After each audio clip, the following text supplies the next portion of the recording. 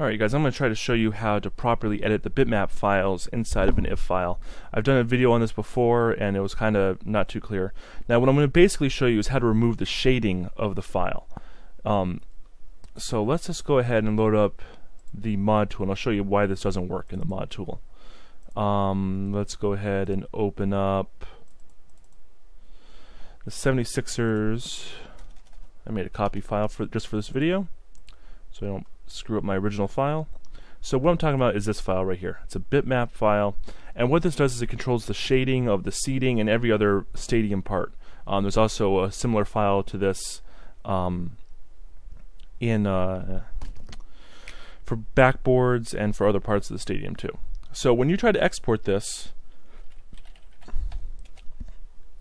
as you'll see, it shows up as a DDS file and it's it's just because the mod tool is expecting it to be a DDS file and not a bitmap file, even though it's recognizing it as a bitmap file.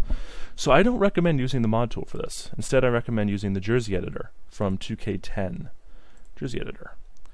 So we can go ahead and open this up and head over to so oh, boom. And this one is just a different setup of a texture editor. There's a 32-bit and 64-bit version of this. Um, so let's scroll down and see if we can't find our texture. There it is. So texture 57. So you just click on it to export it. Throw it on the desktop. We'll call it video uh, 2. so here we go. We have this. We can go ahead and edit with GIMP.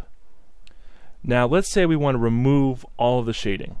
We just want to get rid of all of it. The way you're going to do that is you're going to make the entire file white. So we can just go ahead and press new, foreground color, delete the old one, go ahead, and we'll just overwrite. Now the settings this saved with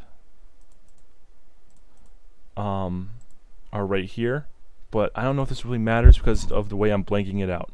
If you want to do a custom one, you might have to play with the settings a little bit more, but unfortunately I don't know the format that this bitmap file is in. Now, here's a one that I exported earlier, and we're going to hex edit them. That's fantastic. Okay. So the video BIMP is the original file. And as you can see, this is the header of the file, these th first three lines. In the video 2, you can see we have the same but similar, a similar but different header. So what we need to do is bring this header over into the other file. So we can go ahead and copy that, go here, delete that, paste that. And then the next thing we need to check is make sure we have the same file length before we import back in. 4000636, 40036, fantastic.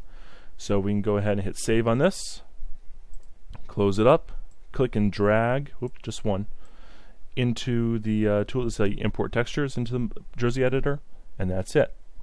And now when you load this file up in game, um, all the shading that's normally on like the banners and the stadium parts are all gone.